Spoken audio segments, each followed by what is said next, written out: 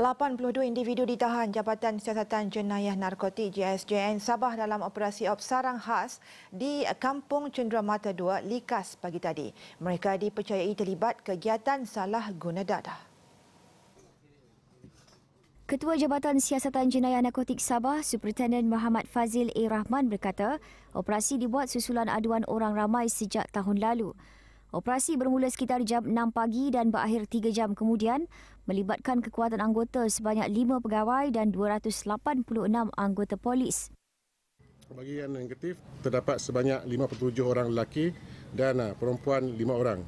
Jadi pada keseluruhan tangkapan pada kita buat pada pagi ini ada sebanyak 82 orang. Beliau berkata demikian dalam sidang media narkotik di Dewan Serbaguna Ibu Pejabat Polis Kontingen IPK Sabah. Dua suspek yang ditahan positif dadah turut dikehendaki polis di bawah Seksyen 420 Kanun Keseksaan berkaitan kes tipu di Keluang, Johor.